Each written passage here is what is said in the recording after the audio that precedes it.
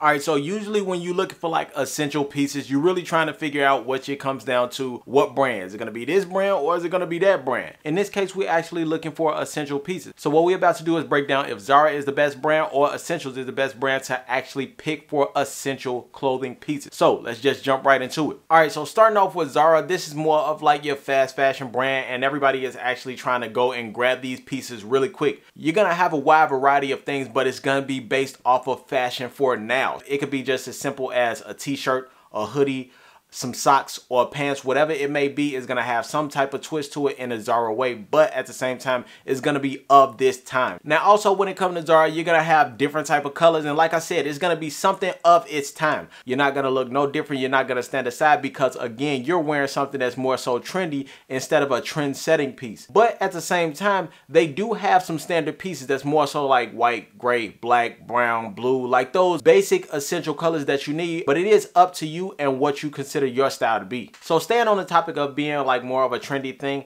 Zara does not have its own cut. So like there's particular brands that actually stand out because they have a particular fit, a cut. But in this case, Zara doesn't. It's more of just a standard piece. So any essential piece that you actually do pick out, is going to be something that's more so on the basic side. If you do find something that's like more of their own fit, you will see it's something that's more so like a standard box fit or a standard relaxed fit. Of course, this is the basics of the basic and that's what Zara is when it comes to fast fashion. It's not going to be something that's just wide out there and for people to go crazy over. This is going to be something that's standard because it's an essential piece. Now, good thing about this is if you're trying to find your type of style or if you're trying to build up that wardrobe in your closet, these are the great places to go because because why? It's more affordable. Like you don't really have to spend too much money for you to actually get some essential t-shirts a couple button-ups some pants some socks and be straightforward and then be able to add on to your wardrobe from there. And again for it to be fast fashion it's something for you to dress up now. So it gives you time to wear what's hot right now. And then later on as the seasons move forward and you start to up your style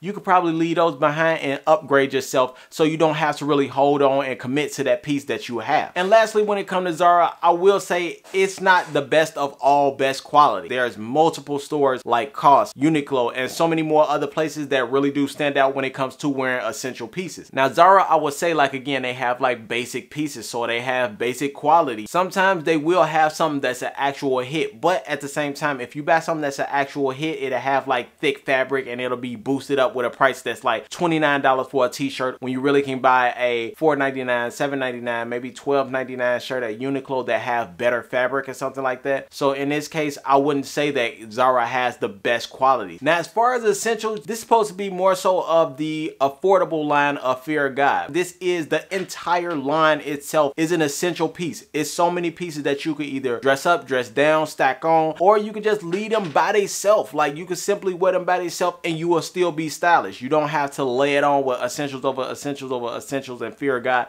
You don't have to do none of that. You can actually wear it by itself and it will still stand out as a fashionable piece. Not only is this a fashionable piece, it can also be a trendy thing because a lot of people like to wear this at the same time. Now the pieces that's created, they have their own fit, their own type of style, their own type of cut. So the clothes that you pick, they're gonna have a natural oversized fit to it. Now good thing about Essentials is that it's a limited piece and once it sell out, it sell out pretty much and it takes a while for it to either come back or sometimes he just does not bring it back again. So pretty much you'll stand out on your own. Now the weird part about essential is it's an essential but it's not an essential because more of the branding is on there so it won't be like a basic t-shirt that you grab. So it won't look like this Zara t-shirt that you picked up and then you walk around and you could compare it to Uniqlo and they'll look the same because they, they're just a basic t-shirt.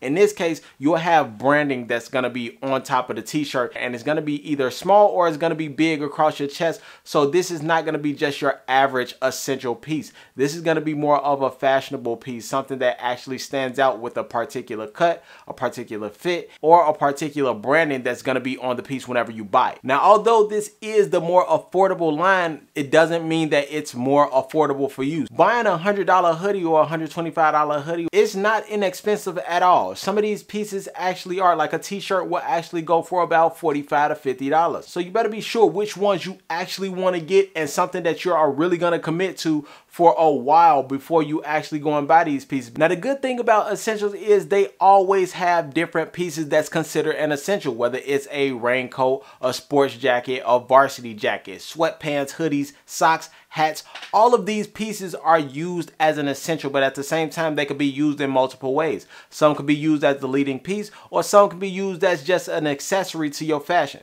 But at the same time, these are going to be different pieces, so it's not just going to be your standard regular socks, regular t-shirts.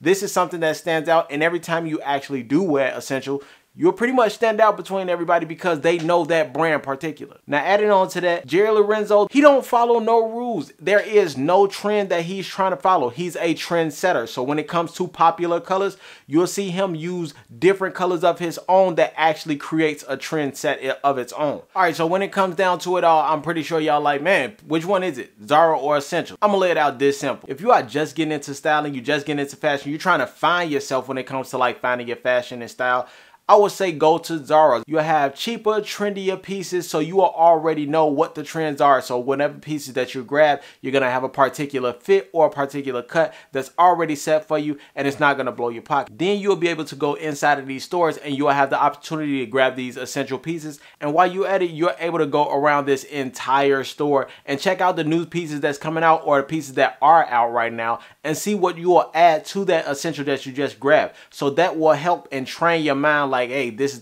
this is the type of style that I like. This is the way that I want to go about my fashion. This is where I want to be. Now, if you're the type person that already know your style, I would say essential is going to be fun for you. Jerry Lorenzo have a wide variety of different type of styles. It's not just only one type of thing. So you have sweaters, rugby sweaters, t-shirts, hoodies, and, and so much more. He has a huge Rolodeck of just things that he could give you when you're trying to actually find your own type of style. But if you already know it, you already know what pieces that you're going to look for. You know what type of color, fit, size, fit and everything. You know the type of feel, how it's going to be heavy, if it's going to be light. You already know this type of thing. So all you have to do is go on the website and buy it. And at the same time, you will already know your style. So this could be a piece that you buy and you can hold in your closet for a while because you can actually commit to this piece because you actually like because it fits to the style that you have. So if you already know yourself and you already know your fit, I will actually say go to Essential. Hopefully that just gave y'all a vibe of how y'all should go shopping and everything for these big pieces and or these fast fashion stores. Hopefully that just gave you a little bit of insight. Now with that being said, I know I've been gone for over a month that's because, like I said, I told y'all before, I've been testing out these reels and I've been testing out these YouTube shorts and everything. And I wanted to give myself a real month to actually check this out and see if there's something that I wanted to do. Some of y'all like it, some of y'all don't. It is what it is. But with that being said, I am back on this screen. I'm back on the tube and I'm dropping more YouTube content and I've been waiting on this and I think he just gave me a repurposed refresh for me to come back and talk more about style and everything. So with that being said, y'all already know how the vibes go, man. I'm gonna catch up with y'all next time. I'm out. I'm gonna holla at y'all. Peace.